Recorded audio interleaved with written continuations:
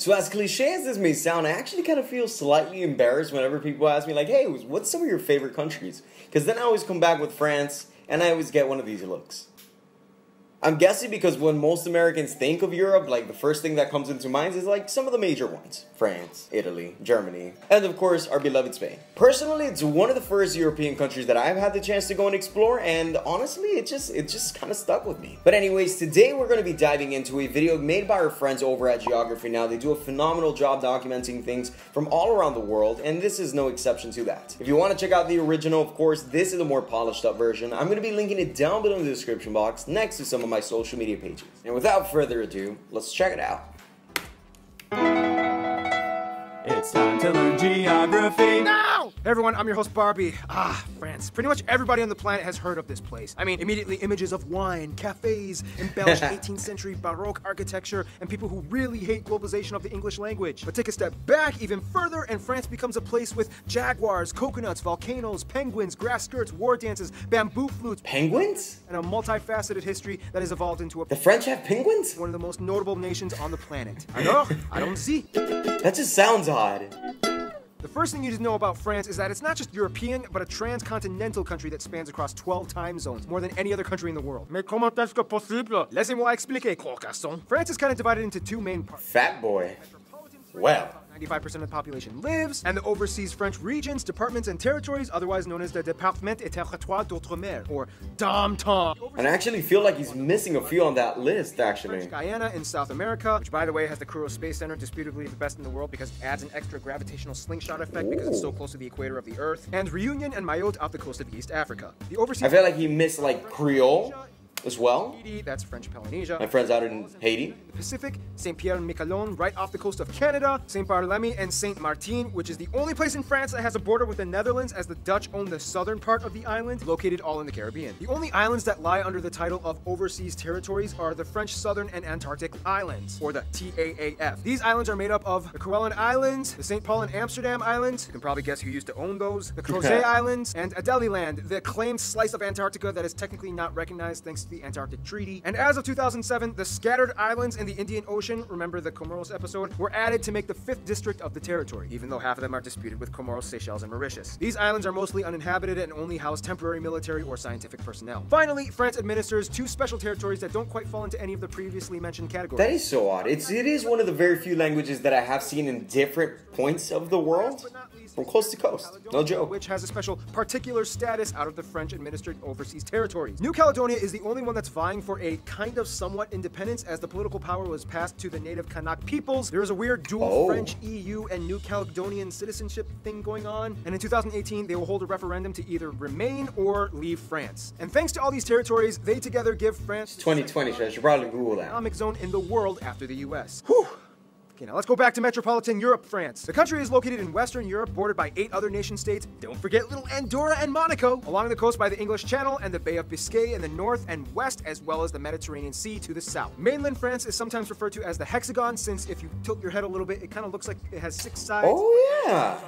I was always under the impression Look at that. teapot with feet. Mainland France is also divided into 13 regions, including And Barbie was pretty accurate with that description. capital, largest Good job. as well as the main cultural and commercial center, Paris. We could talk on and on. Voila. What with the unbelievably designed metropolitan layout, the rich, vibrant atmosphere, the juxtaposition of classically adorned historical sites along neo-contemporary architecture, the food, the shops, and of course, au soleil, sous la pluie, à midi ou à minuit, il y a tous It's such a beautiful city. the busiest airport. I've actually walked around through a lot of Paris, and Orly International, as well as Nice, Côte d'Azur, and the second and third largest cities, Lyon, which I highly recommend too, by the way. Provence International. At around 643,000 square kilometers, France is the largest country in the EU. The interesting thing about No way. areas that historically had their own distinct cultural identity. Some of the most notable ones being Occitania, Savoy, Brittany, Normandy, Alsace, a section of the Basque Country, Nice, and the island of Corsica, which speaks its own dialect most French people can't even understand. These regions contribute their own unique piece of the French Because I think it's like part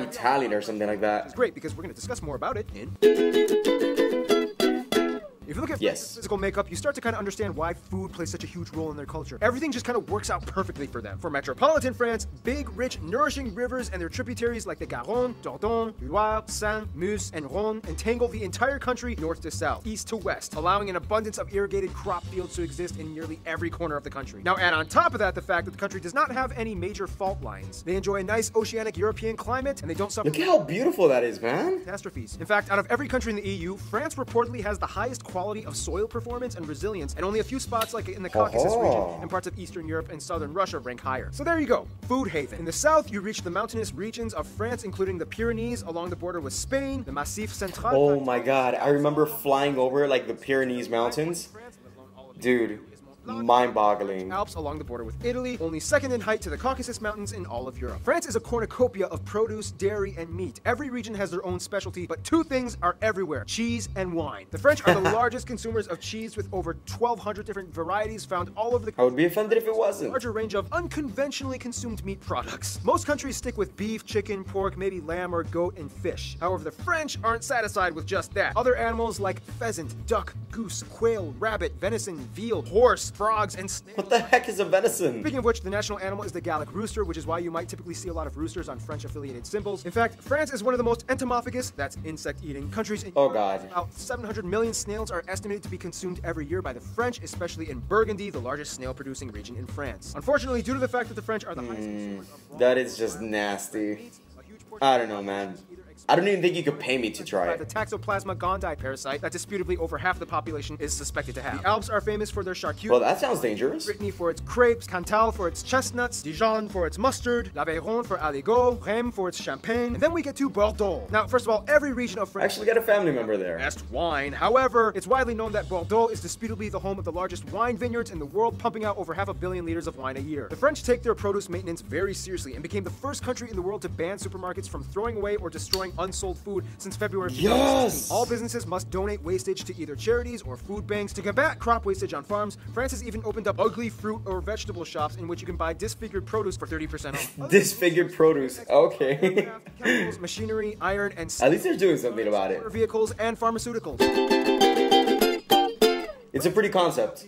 Pretty cool concept. Very intent on making sure that you know they are French. First of all, the country has about 67 It's like being vegan. You have to tell everyone. in Europe after Germany, making 13% of the EU alone. About 85% of the population Oh. is white, 10% are North African, mostly from the Maghreb regions, a little over 3% are black, and a little less than 2% are Asian. The currency is the euro, they use the type CEF outlets, and they drive on the right side of the road. Now let's talk about the white people. Most white French people have some or partial You just said that so casually, it's almost offensive. inhabited most of the centralized regions of modern day That means genetically, the French and British have a lot more in common than they think. Of course, an admixture of Latin and Germanic roots also applies, as all three people groups have their stake of claim in France as well. The name France even came from the Germanic Frank tribe. French is, of course, the official language. However, regional dialects do exist, but for the most part, But I see France more Latin based than the UK, of course. My opinion. their own flag, still cling on to their mother tongue, and sometimes you can even find street signs written in these languages. Outside of metropolitan France, the overseas departments and territories each speak French, but in addition typically have their own creoles or dialects. France is the most visited country in the world, as more people than the entire population of France visit France annually at about 80 million. Culture Mind you, the population is heavy. we are talking millennia of tribes, wars, empires, heroes, villains, artists, poets, architects, kings, queens, guillotines, revolutions, inventions, music, dance, clothing, fashion, cinema, cuisine Just threw that in there slightly. folklore, science, literature, medicine, and baguettes. Since the Middle Ages, France has been able to show time after time again that it has been a global force to be reckoned with. I mean, the French at one point in time had the second largest empire in the world, spanning across virtually every region on every continent. One thing you have to understand is that in a fast growing Anglophone driven global economy, France is very, very firmly intent on preserving the French language and culture. The governmentally sanctioned Académie Française has aimed at doing this since 1634. They do things like, somewhat unsuccessfully, banning foreign words such as blog,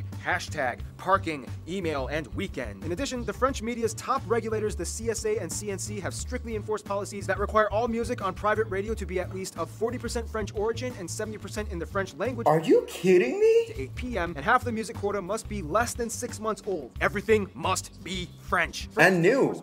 What the heck? Figures in every field of academia and athleticism. I mean, they have almost 70 Nobel Peace Prize winners, including famous chemists Pierre and Marie Curie. Few people know that they had a daughter who also became a notable scientist. In a simple way of putting it, French culture is very vibrant and proud. The French love where they've come from and how they go about doing things. The Catholic Church once played a major role, and to this day, even as a secular state with dwindling church attendees, many French people still, in the very least, identify nominally as Catholic, mostly for a cultural thing. It's just their history, and they don't want to toss it away. They also I was raised Catholic, actually. sleep. On average, the French get about 8.83 hours of sleep every day, more than any other country in the developed world. And they also have some of the shortest work weeks with only about France is doing something right. average a day, and that's enough for them. It's not uncommon to see people taking time off in the middle of the day, early evening, just to relax and take a nap. They even have a word for it, l'heure de l'apéro, which literally translates to the hour of the aperitif. People can There you go. pension at age 62, making one of the lowest retirement ages in the world. And of course, the sport French people rank highest in the world, going on strike. Oh god.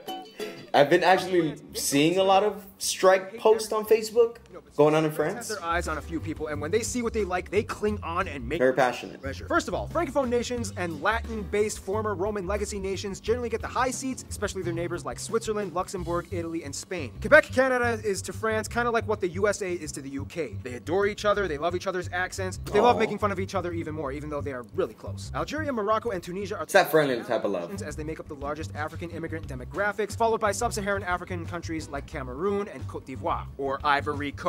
For France, Japan is seen as like the epitome of exoticism. Similar to themselves, the Japanese have a rich culture of noble tradition, things like castles, attire, and food. Likewise, Japan sort of shares the same mutual fascination and see France as like its European alternate universe twin. There's no two countries that like to poke I mean, they're very different, but exotic in that good sense. USA. As historical rivals with the UK, I mean, they did have a hundred year war with them, and the USA busting their chops about World War II all the time. All sides like to satirize each other in cartoons and media all the time. Nonetheless, they are actually really close. The UK This is true. have been crossing borders and intermarrying for centuries. Commerce and student exchanges are high, and the US was helped by the French during the Revolutionary War, and they even gave the Statue of Liberty as a present. So, fellow Americans, thank France for Lady Liberty, okay? Oh yeah. Friends, Thank you, guys. and Belgium. It's kind of funny because historically, the only country that was consistently an opponent of France was Germany. Ever since the split of Charlemagne's empire in three, most of Europe's history was driven by the overarching rivalry between variations of France and all variations of Germany, including the Holy Roman Empire, the Teutonic Order, Prussia, and of course, the Third Reich. But the plot twist was the creation of the EU. Following Robert Schuman's speech that states explicitly that for Europe to even hope to work, the millennia-old rivalry between France and Germany has to be resolved for good. Ever since 1950, France and oh. Germany have taken a lot of political inspiration off of each other. Heads of states have visited each other on numerous occasions, and both countries have been the biggest advocates for the survival of the Union. The accuracy in that statement, flawless. That is actually pretty interesting. Like, yes, uh, like these two giants have made peace, and I've never even noticed that. But without these two giants, like, I'm pretty sure that the EU would collapse. Controversial? Maybe. True? Maybe. I had actually forgotten, and it was just a quick, like, gut check right there. It's like, hey, France gifted the US Lady Liberty. Thank you.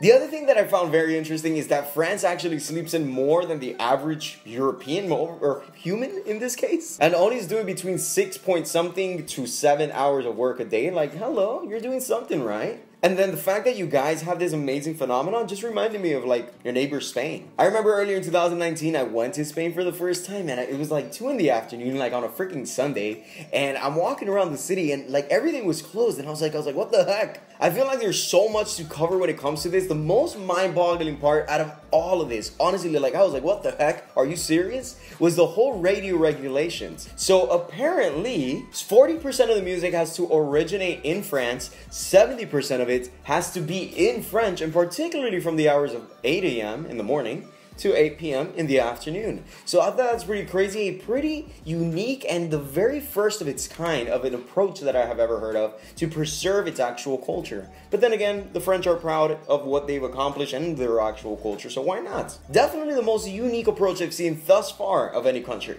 And when it comes to the food, like I don't even want to get started. Like I never even noticed how experimental it, like France actually is with their whole meat situation. Barbie does have a point. Not only are the French eating pork, chicken, fish, and everything else in between, also snails. What was the other one? Quill, hares, like rabbits. Like what is up with these these amazing people over in France. I feel like I had to curve that one right there, you know, because it's it's just odd. The only thing that I didn't hear in there was reindeer, but I'm pretty sure it's just because they're a little bit too far. Otherwise, the French will be biting at it as well. The French have definitely left their mark on the world, and oftentimes I've come across countries that I didn't even know spoke French, like French Guyana.